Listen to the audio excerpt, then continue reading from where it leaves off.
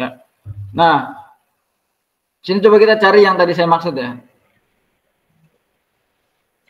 Di bagian kalau yang sini belum belum terlalu nih. Oke, sambil lewat lah, sambil lewat. Ini uh, kalau ini masih oke, okay, masih bisa dibaca lah nih. Yang ini nih. Ini dulu aja misalnya.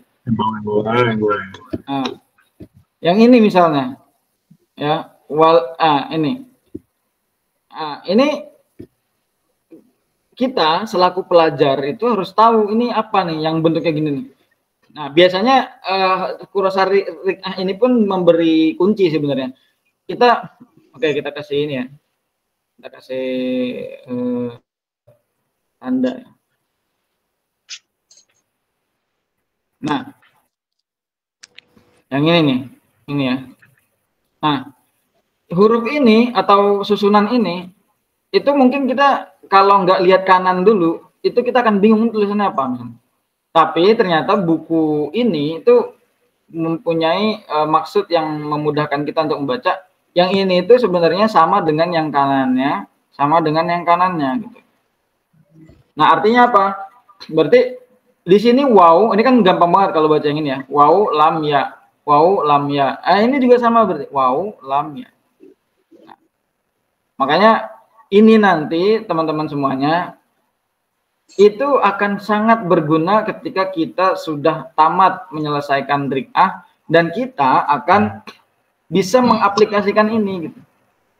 Nah, jangan-jangan yang selama ini kita lihat antum sudah ikut lomba internal bait hot, sudah ikut pameran internal bait hot, selama ini bikin karyanya gitu-gitu aja, mungkin karena nggak tahu yang model-model kayak gini. Nah, makanya perlu dikembangkan gitu. Padahal mungkin ada yang sudah tamat buku dua, tapi dia nggak sadar kalau bentuk itu bisa diubah-ubah gitu. Nah ini ini ini poin yang sangat sangat penting Nah ini juga ini ditemuin lagi kayak gini bentuknya. Nah ini ini mirip kan? Mirip. Yang ini tadi wow lam ya. Yang ini, nah kalau kita lihat sebelah kanannya, teman semuanya berarti ini adalah wow di sini loh. Wow kaf ya. ya. Wow kaf ya. Jadi kaf sama lam itu ternyata sama sama-sama ada tiangnya, tinggal kalau kaf itu ada syaratnya, ada syaratul kafnya di sini. Ada apa? Uh, tiang tambahan yang miring itu ya. Seperti itu. Oke, kita coba beralih dulu ke yang tadi saya maksud di Buyuroh ya. Nah, ini pun teman-teman harus tahu nih ya, yang sudah yang sudah pernah belajar RIKA, yang sudah tamatnya lama atau yang sudah baru banget belajar RIKA atau yang baru selesainya baru kemarin, ini harus tahu juga ini tuh apa sih sebenarnya? Apa? Ya sekali lagi ternyata Kurosa memberi kode yang ini itu adalah sama dengan yang sebelah kanannya gitu. Nah, seperti ini. Nah, ini misalnya nih. Ini ini apa nih? Misalnya. Oke, uh, saya mau coba nanya lah. Ustaz Firman saya ini apa Ustaz? Kira-kira apa ya? Ini apa? Karena cahana hudahu kayaknya. Shin Ah? Shin langsung H ya atau gimana? Iya, itu Shin H enggak sih? Nah, kan. Berarti oke. Okay. Coba kita yang coba yang ini. Uh, Ustazah Ustazah Ustazah Fahdian mana Ustazah Fahdian? Ada nggak? Di Rosat. Nah, ini apa bacanya Ustazah? Padri Ustaz. Lah. Ustadz Kafi, Ustadz Kafi ini kan udah belajar juga nih. Apa nih, Ustadz? Yang yang ini aja deh, yang yang ini nih. Itu sin panjang nggak sih? Sin alif. Oh, alif. itu sin, iya, ya, ya. Sama sampingnya itu, ya. Nah, ini itu sin alif. Ini kan sama, tadi saya bilang kan. Ini tuh dari kanan gitu. Antum iya. ini aja curiga aja, curiga. Eh, ini samping kok yang itu sama sama sama ah, berarti sampingnya ini sama-sama ada sin alif oh berarti ini sin alif nih. minimal ya, curiga dulu aja lah main, main perkiraan gitu kan masalah benar apa enggaknya tinggal ditanyain aja gitu tapi itu sin alif memang ya itu sin alif terus Misalnya, nah ini nih banyak banget Aneh-aneh. ya. Nah, ini tuh sama loh. ini tuh sama. Jadi ini ya, ini pembatasnya tuh di sini nih. Ini, ini garis-garisnya nih. Di sini, ya. Di sini. Itu sama. Alif, wawu, lam, dal, eh, ya, goyen, mim. Alif, wawu, Lam Lam, dan ya dal, goin. ya, goyen, mim. Jadi bedanya dia divariasikan gitu. Ini ini wawunya nggak naik kan. Ini terlalu tebel nih. Nah. Oke. Nah, ini bedanya ini dinaikin, ini dinaikin kan. Terus ini dalnya dinaikin. Ini dalnya dinaikin. Kayak gitu. Nah, ini juga sama nih. Nah, intinya gitulah ya. Nah, ini nih, ini juga nih. Ini. Memang kalau belum terbiasa tuh kadang susah juga kita ya. Wow. Nah, ini tuh mana coba awalannya? Awalannya di sini nih. Ini ya, ini pembatasnya nih. Mana lagi? Ini ya. Terus mana lagi? Eh, wow. Eh gitu lah. Hmm.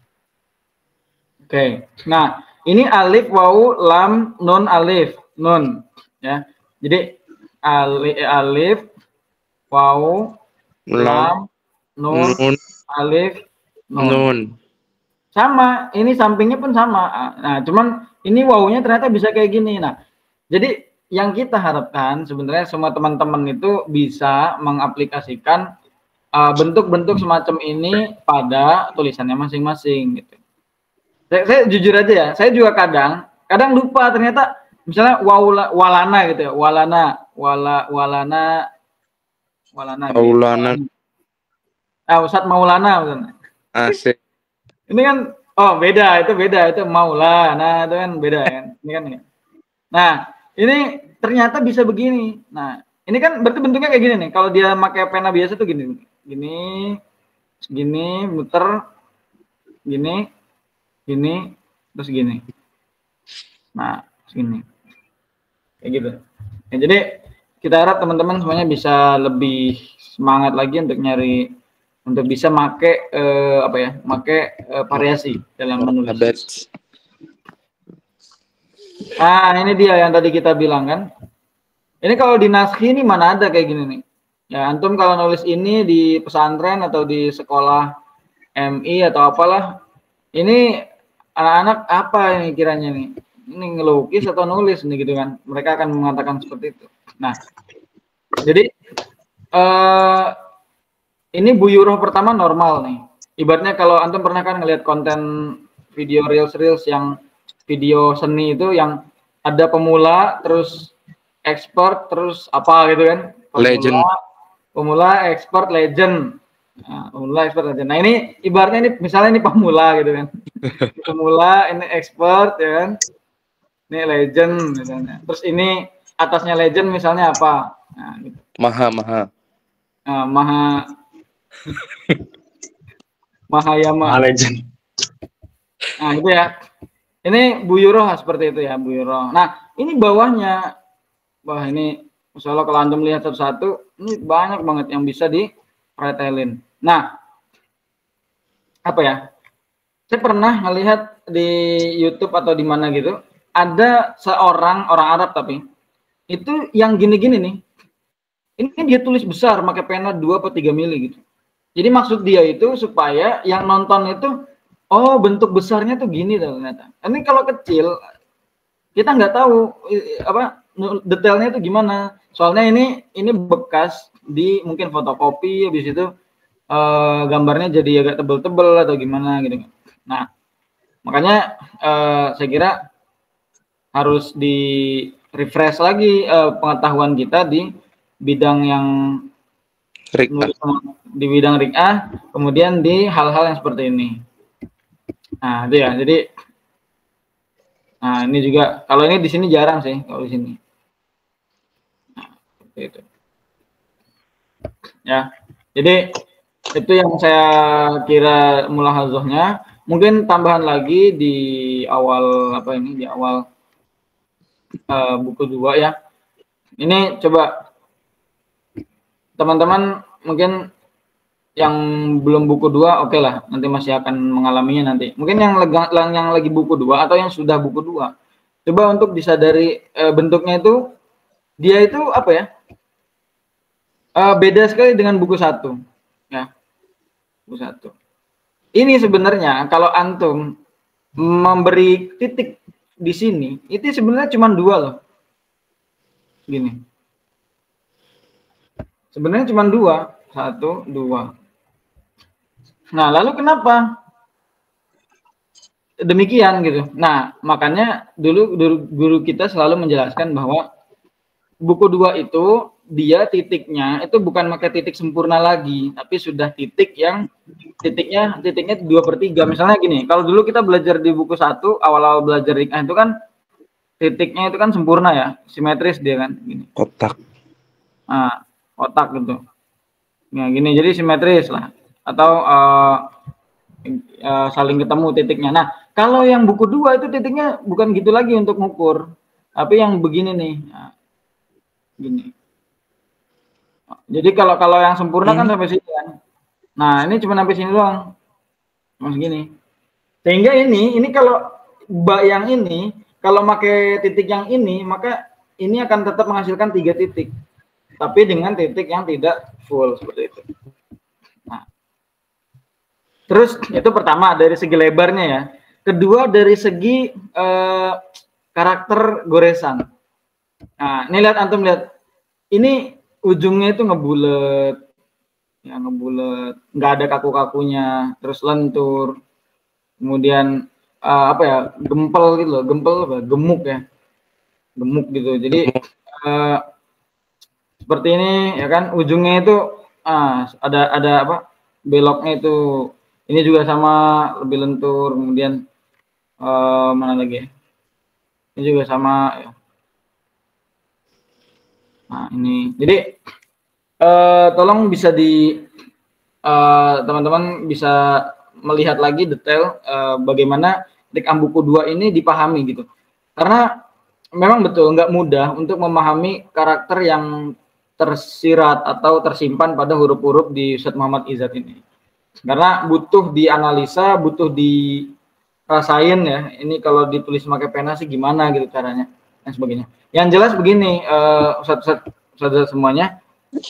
Yang saya bilang tadi lentur di ujung ini, Ustaz.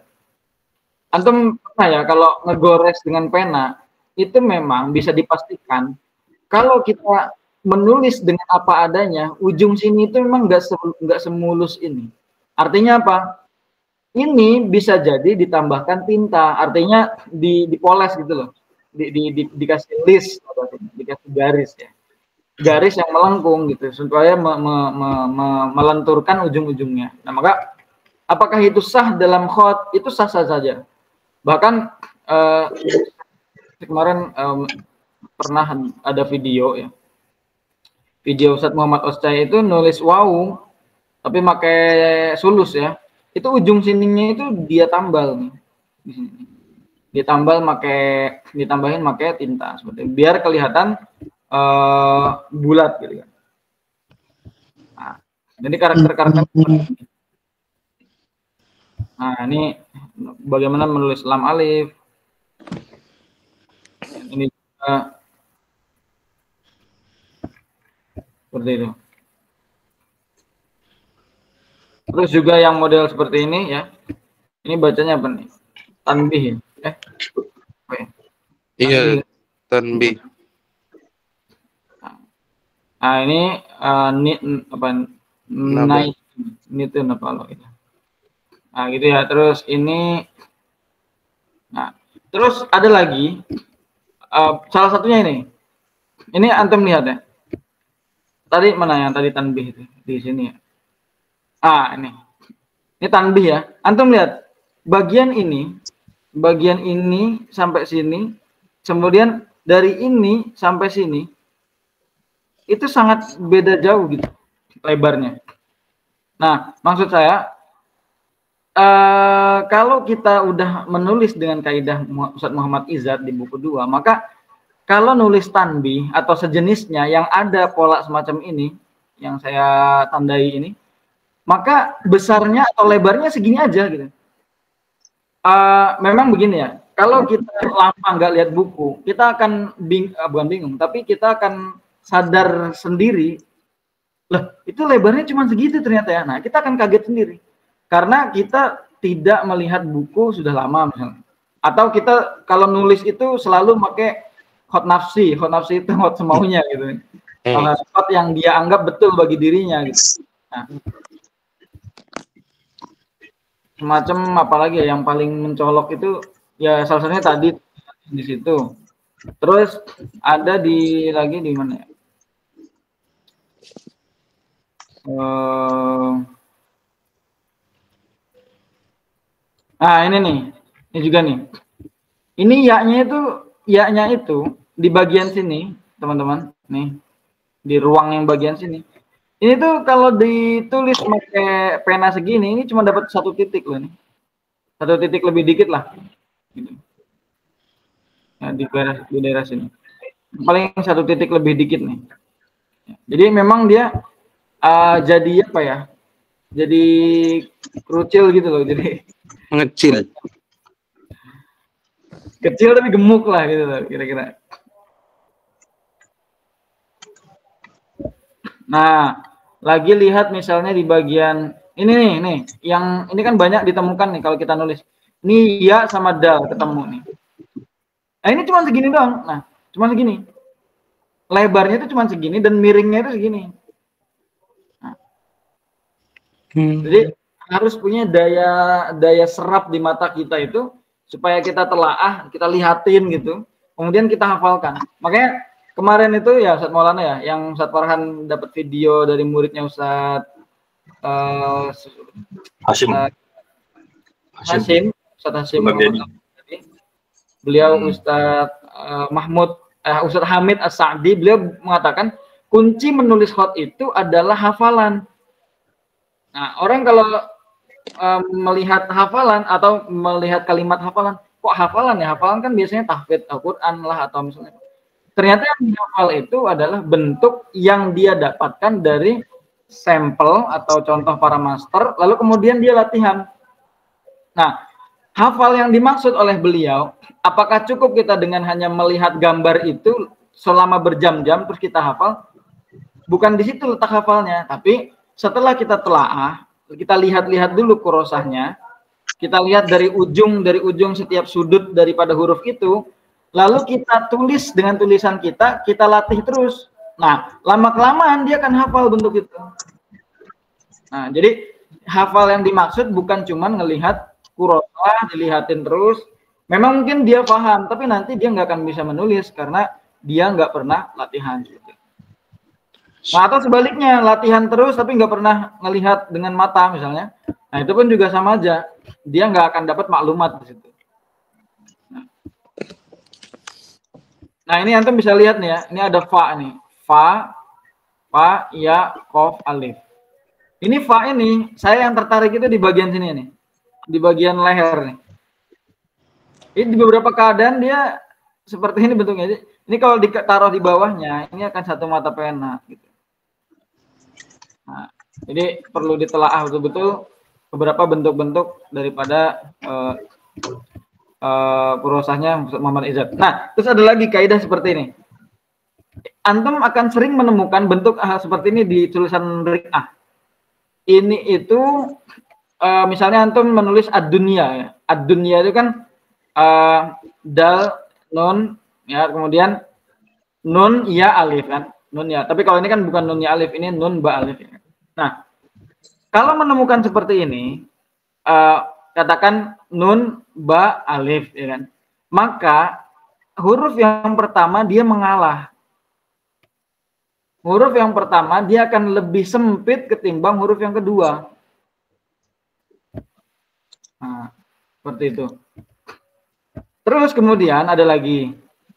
Kalau yang bentuknya seperti ini itu sebaliknya ya ini sebaliknya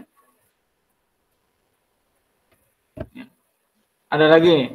Ah, ini yang bawahnya lebih jelas nih, yang ini nih. Ini lebih jelas nih. Nah, lebih jelas. Yang apa? Eh, hak nun yang bawah ini lebih jelas. Atau jim nun ya. Nah, jadi bentuk-bentuk seperti itu ini juga sama nih, ini juga sama ya kan? Sama Nah, ini lihat teman-teman. Ini lebih lebih dahsyat lagi nih. Jaraknya kecil sekali nih. Nah. Ya kan? Ini fa, kemudian kof, iya, ta, waw, uh, alif. Ini kecil sekali. Ini huruf iya ini. Ini dapat porsi cuma sedikit gitu. Yang lain ini, ini cuma satu titik, ini bisa dua titik, ini tiga titik. Nah. Jadi teman-teman bisa cari eh, hal-hal uh, semacam ini. Kemudian nanti ketika kita nulis dengan kaidah buku dua kita terapkan eh, hal-hal uh, semacam ini. Ya. kemudian teman-teman yang sering nulis dal di akhir lihat ujungnya seperti ini. Kalau ro ujungnya seperti ini. Kalau ro di akhir ujungnya seperti ini. Ya. Mana lagi?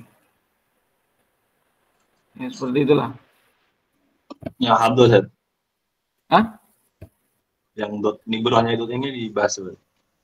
Ini beruahnya itu. Ini dah. Ah ya. Spesial buat bentuk ini kan nggak ada nih bro. Oh, iya. Nanti sama antum dibahas. Oke. okay. Itu uh, mungkin itu ya yang bisa saya sampaikan. Nanti kalau tadi satu malam mau Hamzah nanti silakan dibahas ya di, di, dikaji nanti uh, kalau saya bisa jawab, saya tambahkan. Mungkin itu dulu yang bisa saya sampaikan pada sesi rikah yang sekarang. Nanti mungkin next bisa di Diwani atau di Itiadiah dan lain sebagainya. Uh, terima kasih. Saya stop sharing dulu. Uh, saya cukupkan. Assalamualaikum warahmatullahi wabarakatuh. Waalaikumsalam warahmatullahi wabarakatuh. Terima kasih banyak sejalan atas pengetahuan dan maklumatnya. Alhamdulillah kita tercerahkan untuk hal-hal yang seperti ini ya. Saya yakin di antara kalian yang memang dari dulu ya mungkin menunggu sesi pembahasan kaidah daripada pembahasan uh, kajian-kajian sirah mungkin nanti lebih lebih dominasi untuk uh, suka untuk kajian-kajian yang bertema kaidah. Insya Allah ke depan nanti. Sat, Sat Firman ya. angkat tangan kenapa Sat Firman? Mau nanya Sat, tadi itu ada Hamzah halaman 28 tuh ada rokat kasrohnya ya? Hamzah 28. Bentar ya. Yang tadi antum jelasin ada anak baru ngeh ya? Kayaknya di fotokopian nggak kelihatan lah itu. Oke, okay, oh, yang... berarti akan dilanjut oleh Ustaz Maulana sharing ininya. Silakan. Yang mana? Jangan. 28. Sharing. Ya, ya, ya. Ini gimana cara polanya? Hmm. Mana share screen? Mana share screen lagi, Zed? Kayaknya gini aja, ntar kita apa namanya kita jawab aja. Tapi untuk ya di buku ini yang kita adakan apa namanya tadi itu, itu memang file lumayan besar ya. Jadi nanti bisa bisa kita sharing share untuk file yang uh, tadi share sejarah. Mana tadi ya? Bentar, searching.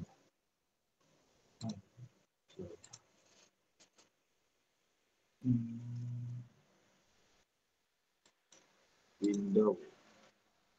Ini ya. Bentar ya.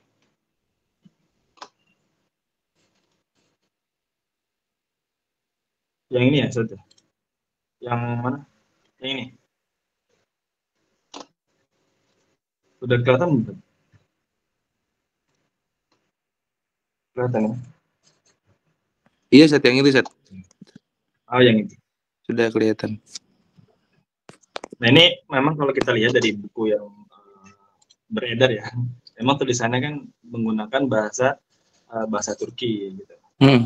Ya sebenarnya kalau dijawab, ini kenapa ada hamzah segala macam dan uh, apa namanya maksudnya apa dalam ayat ini?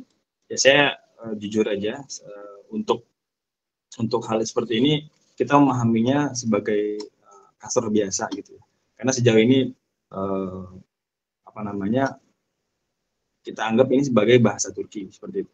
Dan memang untuk bahasa Turki sendiri yang sempat aku konfirmasi juga di oleh kepada usaha Akikul ya satu angkatan itu yang di Turki sempat untuk mentranslate ya beberapa bahasa-bahasa yang ada di buku ini kan karena memang ada kemampuan berbahasa Turki dan bahasa Arab. Ternyata eh, dia sendiri mengaku bahwa ini bukan bahasa Turki yang sekarang gitu. Ini sebuah bahasa Turki yang zaman-zaman dulu ya. Mungkin dan hmm. zaman-zaman yang bahla itu. Nah, tapi untuk untuk seluruh untuk salah kaidah ini uh, mafhum ya untuk di hamzah di seperti ini. Kemudian ada kasih khas kasro dan ini tidak tidak ada ber uh, apa namanya ber apa sih isinya? Ada simbol-simbol tertentu nggak ada. Sejauh ini uh, Ustaz Amnur menjelaskan hanya oh ini kasro seperti itu. Uh, oh berarti kemudian, boleh uh, ada kasro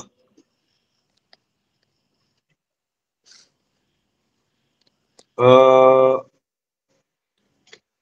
untuk seperti itu kita lihat bawahnya ya. Yang ini kan tidak ada satu bawah lihat bawah. Iya. Bawah ini. Ya, nggak ada.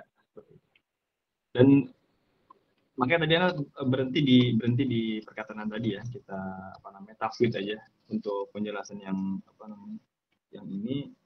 Anda pun nggak tahu jawabannya untuk uh, kasroh. Cuman sejauh ini tidak ada apa namanya bahasa itu apa? Tidak ada ketaitan dan pengaruh apa apa lah untuk kasro ini seperti itu. Hmm. Tapi Ustaz Emnur selalu untuk hal-hal yang seperti tanwin kemudian kasro ya, di sini yang kasro itu selalu uh, diusahakan dipakai seperti itu untuk menandakan. Biasanya kan kita menulis ini kan hadis ya, hadis hmm. kemudian uh, atau ayat Quran. Yang lain ya. Oh tadi aku mau yang ini, coba saya pengen menjelaskan untuk yang di hadorot ini. Dan hadorot ini kalau kita lihat di ini kan artinya ini hurufnya sa, sin, alif, kemudian ya, ha, kemudian ha, mim. Nah, oh. di hadorot ini untuk yang spesial, untuk yang model seperti ini, dia tidak menggunakan nibroh seperti biasanya sot. Karena kalau kita lihat uh, ya seperti ini, kayak asrun, anggap aja ini asrun. Asron ini menggunakan libra di sini. Hmm. Berbeda dengan yang hador ini. Hador ini memang di, di, dihilangkan libra. Seperti itu. Dulu sempat uh, kami menerima penjelasan ini langsung. Jadi, oh ini ternyata bedanya seperti itu untuk hal uh, bagian ini. Jadi kalau antum menulis dot kemudian dikasih libro, nah itu potensinya salah. Berpotensi salah. Oh, khusus Dan ini dot doang berarti setnya? Ya, untuk model seperti ini. H dot ro. Hmm. Ya. Untuk yang seperti ini eh, modelnya dilepas. Coba kita lihat bawahnya. Ini pun mengikut kan? Mengikut. Iya. Jadi model seperti ini kan kalau kita lihat ya eh, model-model yang khas uh, sekali untuk mereka. Jadi ada pengulangan-pengulangan. Kalau misalkan di atasnya ditulis besar dengan mata pena tiga, gitu contoh di bawahnya sepertiganya ditulis gitu. Nah ini kalau kita lihat uh, uh, Syekh Muhammad Izzat ini mengulangi tulisan yang sama, teks yang sama, tapi dengan tarkib yang berbeda. Seperti itu. Bahkan di sini bisa jadi kita uh, mengetahui di sini ada jarak-jarak yang memang melebar ya. Contoh seperti ini. Ada alif di sini ketemu dengan h. Ini kan jaraknya kurang lebih satu titik lah, anggap saja satu titik. Tapi ketika tulisan tulisan mengecil, seperti itu, maka dia melebar, memuai jaraknya. Nah, sebenarnya ada pembahasan menarik ya di kaligrafi itu. Uh, nanti uh, sempat juga sih ada ada mengirim dari kawan-kawan kita itu salah satunya adalah uh, apa namanya golden ratio. Bagaimana apa namanya golden ratio itu diterapkan di kaligrafi tapi ada juga yang lain perspektif lain itu adalah ilusi apa ilusi optik. Jadi kita memang perlu jarak yang jauh untuk menjadikan huruf itu disusun rapi. Jadi pakainya feeling seperti itu. Nah itu ada pembahasan sendiri. Seperti contoh jarak antara uh, antara huruf yang besar dengan yang kecil. Kemudian uh, berbeda dengan yang di jauh-jauh seperti ini. Ini kan seperti ini ya, jaraknya kurang lebih taruhlah ini sekitar 16 titik kalau 12 titik Tapi kalau kita masuk yang seperti ini, nah di sini jaraknya sudah sampai bahkan lebih dari itu. Apalagi yang masuk ke belakang-belakang. Ini jaraknya udah lebih udah jauh. Berapa huruf nih tingkatan dan melihatnya bukan bukannya dari zoom seperti ini memang. Melihatnya dari mana karya itu jadi seperti ini. Nah kalau ketika huruf apa namanya ketika tulisan itu dibuat sebesar ini maka mata itu entah kenapa gitu kan objektif memang ya. Kalau aku, lihat itu objektif. Ini memang bagus banget gitu seimbang dibandingkan uh, kalau kita lihat seperti ini. Mungkin kalau kita lihat dari dekat pun ini kok jaraknya terlalu uh, jauh segala macam. Cuma ternyata penilaiannya bisa seperti itu nah ini yang menarik yang perlu kita detailkan pembahasan kita. Insya Allah kalau memang uh, alhamdulillah ya sudah dibuka dengan sejalan untuk pembahasan awal materi Rika. Nanti ke depan kita bisa ulas lagi. Maka teman-teman yang sudah sedang ngetik A ya silahkan dikencangkan lagi sabuknya untuk uh, semangat uh, apa namanya darasnya bisa sampai di titik seperti itu. Oke sejalan, kira sudah cukup ya untuk sedikit tambahan. Nanti kita kita simpan materinya untuk pertemuan berikutnya insya Allah di kesempatan berikutnya.